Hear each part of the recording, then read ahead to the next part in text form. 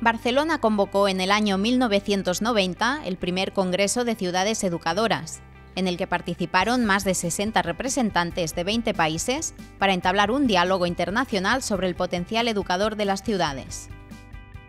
En aquel primer congreso nació la Carta de Ciudades Educadoras, también conocida como Declaración de Barcelona. En 1994 se constituyó la Asociación Internacional de Ciudades Educadoras. La sede y la secretaría de esta entidad se instalaron en Barcelona, cuna del concepto de ciudad educadora. Posteriormente, en el Congreso de Lyon del año 2006, Barcelona fue ratificada como sede. Un análisis de la sociedad actual pone de manifiesto el riesgo de aparición y consolidación de nuevas formas de exclusión. Más participación ciudadana y una potenciación de la complicidad entre la Administración y la sociedad civil son elementos clave para avanzar en procesos de integración en los barrios de la ciudad y es en el ámbito local, en la ciudad educadora, donde se puede trabajar más y mejor, porque en estos momentos educar debe ser sobre todo incluir. Barcelona tiene una larga tradición de trabajo a favor de la inclusión, la integración y la cohesión social, siguiendo así los principios de la Carta de Ciudades Educadoras.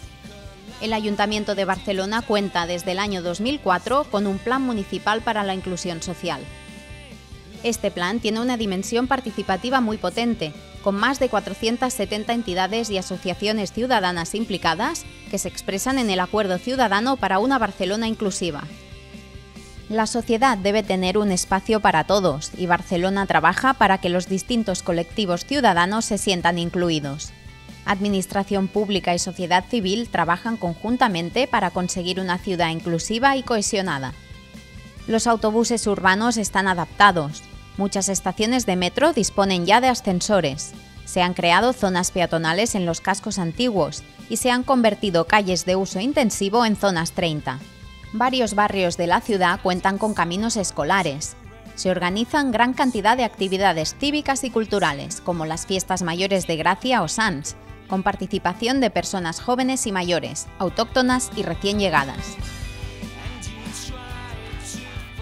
La apuesta de Barcelona por ser una ciudad educadora ha sido permanente en las últimas décadas. Prueba de ello es su participación en todos los congresos que se han celebrado. Barcelona es además una ciudad con amplia experiencia en acoger todo tipo de eventos internacionales y está plenamente preparada para organizar el Congreso de Ciudades Educadoras del año 2014. En el año 1990 Barcelona presentó a todas las ciudades del mundo una propuesta, la idea de ciudad educadora. En el primer Congreso Internacional de Ciudades Educadoras, Barcelona quiso abrir un foro internacional de intercambio y de debate sobre la incidencia del entorno urbano en la educación.